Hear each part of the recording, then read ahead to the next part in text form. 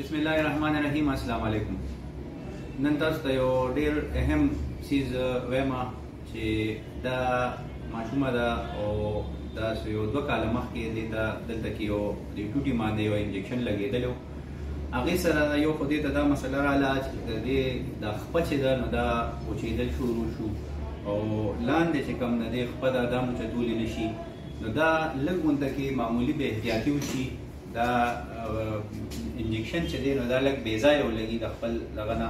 نو د هغې د وجې دې ته دا مسله پیدا شوه دا خو تاسو خو وګورئ د دې دا خپه چې ده نو دې کې هم کافي دغه راغلی دی مسله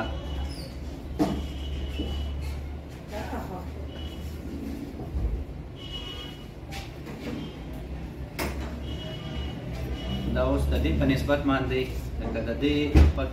دا ډیره زیاته کمزورې شوې ده دې ځای نه د دې دا غوښه هم ډیره کمزورې ده ته کېنه بچي داسې اوس دا خو اوچته که داسې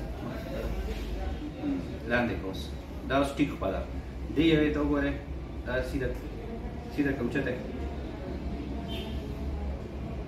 دا ګوره دې له نشي دا ورکولې دا پنجه داسې اوچته کړه دا یوه هغه یوه بره که داسې دا یوه اوس د دې تقریبا دوه کاله په شا شوي دي او دې دغه دې دا شیا ټیکنر دی په دې کې نو په هغې ماندې ولګي لږ چې د خپل ځای نه لاندې ولګي نو ډایرکټ دا په نر ماندې په کم اعصابي رګ دی نو دا په هغې لګېدلې ده نو د دې دغه ته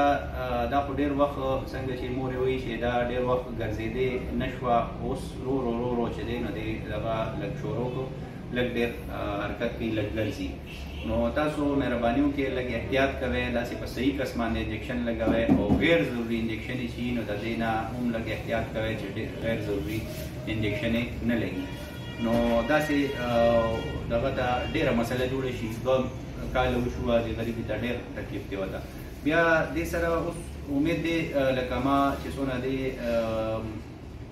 معاینه وکړه نو امید دی لکه دا به رو رو ټیکیدو طرف ته روانه ده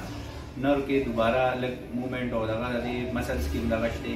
نو د کې زیات دغه دای چې موږ به اوس فزیوتراپي زیات اډوایس کوو چې هغه زیات نه زیات کړي لکه یو لار ده نو دې سره به ان شاء الله کافي ریکوري وشي مهرباني